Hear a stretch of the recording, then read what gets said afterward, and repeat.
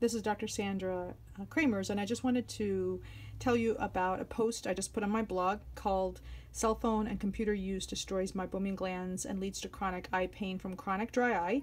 Uh, the reason uh, that I posted this is because a patient came in who was very young, and I write about it in the blog post, and his glands, I think, were the worst I've seen in such a young patient. Um, in the last uh, since LipiView and LipiFlow and LipiScan came out. So I just want to show you what the normal eye gland should look like, which is this. You should see these little white kind of piano keys filled with oil.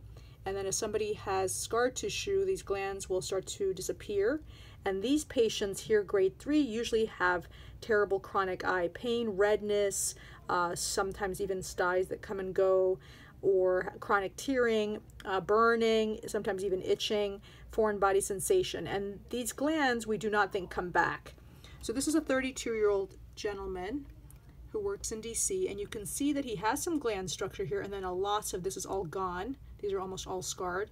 And then here you can see he has a little bit left and this is really abnormal for a 32 year old. And then here in the left eye you can see he has only these two really left. These look like skeleton glands, almost nothing there. And then the same thing in the left lower lid. This is completely dead. These are barely surviving. So he is going to get a Sjogren's test even though he does not have any dry mouth or arthritis, and uh, which is an SJO test, which I highly recommend. And he is now starting even autologous serum in addition to the warm compress routine, omega-3, uh, diluted uh, tea tree oil scrubs because he has some Demodex on his eyelashes, blinking exercises, massaging. So I wanted to show you all this post so you can take a look.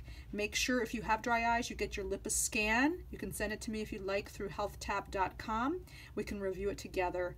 Uh, but I want to warn patients because I'm seeing younger and younger patients with these types of glands. And this patient in particular said he started uh, spending a lot of time on the computer when he was in fifth grade and now that computers are going into the schools, I think this is, we're on the brink of a massive epidemic. We already know it's an international epidemic, but I think it's about to be worse if uh, a lot of students are spending time on the computer and their iPhones. So read my blog post about this, especially if you're a parent and your child is on the computer a lot or on their cell phone a lot, and I hope this helps. Okay, uh, reach me on healthtap.com if you have any questions. Bye bye.